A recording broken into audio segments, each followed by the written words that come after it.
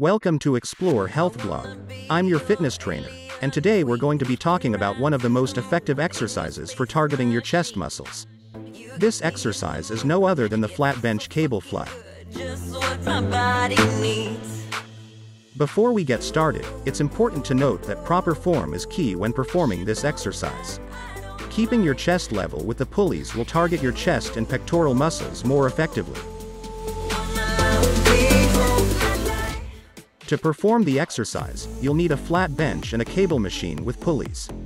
First, position the flat bench between two low pulleys so that when you are laying on it, your chest will be lined up with the cable pulleys.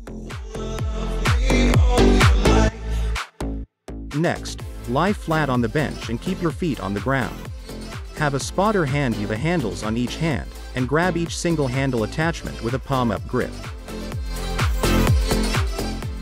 Extend your arms by your side with a slight bend on your elbows, and keep this bend constant throughout the whole movement. With only a slight bend at the elbow, allow the cable to slowly pull your arms outwards until they reach the same horizontal level as the bench. Then, contract your pectorals and pull the handles back inwards, without using your biceps.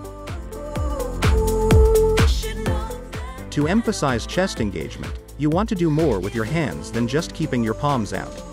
At the end of the movement, rotate and scoop your hands up into a position that leads with your pinkies. It's also important to note that while the exercise is commonly performed on a flat bench, it can also be performed on an incline bench or stability ball to target different muscle fibers. Start with a light weight and focus on proper form, then gradually increase the weight as your strength improves.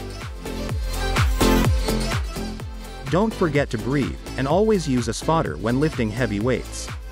Give this exercise a try and you'll be on your way to a stronger chest in no time.